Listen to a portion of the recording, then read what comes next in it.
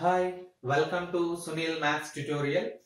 Let us solve a problem from integral equations. Pi of x is equals to f of x plus integral 0 to 1 k of x comma y phi of y dy.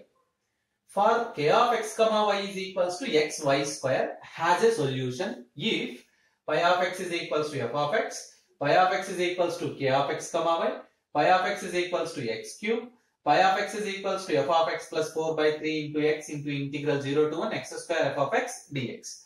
Yes, you observe the question k of x comma y is equals to x y square has a solution if has a solution if pi of x is equals to something. So given different given integral equation is equation 1 k of x comma y is equals to x y square. Let us substitute k of x comma y in equation 1. So we get pi of x is equals to f of x plus integral 0 to 1 x y square pi of y dy. Integration with respect to y, so x treated as constant. f of x plus x integral 0 to 1 y square pi of y dy which is equals to f of x plus x into c. Comma where c is equals to integral 0 to 1 0 to 1 y square pi of y dy. c is equals to integral 0 to 1 y square pi of y dy. Let us write that term. Uh, c is equals to integral 0 to 1 y square pi of y dy. y square pi of y dy. Yes. Now, let us take pi of x is equals to, let it be equation number 1. This is pi of x is equals to, let it be equation number 2. So again, don't write again c is equals to this term. We need to this term. Yes, multiply equation 2 with x square. Multiply equation 2 with x square. Multiply equation 2 with x square. You get x square into pi of x is equals to x square into f of x plus x cube into c.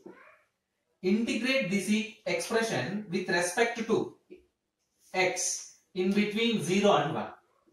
Integral 0 to 1 x square pi of x dx is equals to integral 0 to 1 x square f of x dx plus c integral 0 to 1 x cube dx. Now you observe that integral 0 to 1 x square pi of x dx this is nothing but c. c is equals to integral 0 to 1 x square f of x dx plus x cube x power 4 by 4 you get simply c by 4. Shift c by 4 to left side you get c into 1 minus 1 by 4 is equals to integral 0 to 1 x square f of x dx. 1 minus 1 by 4 you get 3 by 4. C into 3 by 4 is equals to integral 0 to 1 x square f of x dx. Shift 3 by 4 to right side. c is equals to 4 by 3 integral 0 to 1 x square f of x dx. Let it be equation number 3. Let it be equation number 3. Use equation 3 in equation 2 we have. Use equation 3 in equation 2 we have. We have pi of x is equals to pi of x is equals to f of x plus x into c.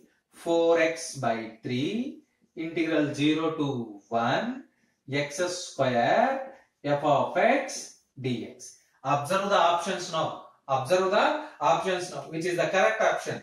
Absolutely option number 4 is correct one. Remaining three options are wrong. So the given integral equation has solution whenever pi of x is equals to f of x plus 4x by 3 integral 0 to 1 x square f of x dx. If it has no solution, then what happens? If it has no solution, then what happens? This c becomes 0.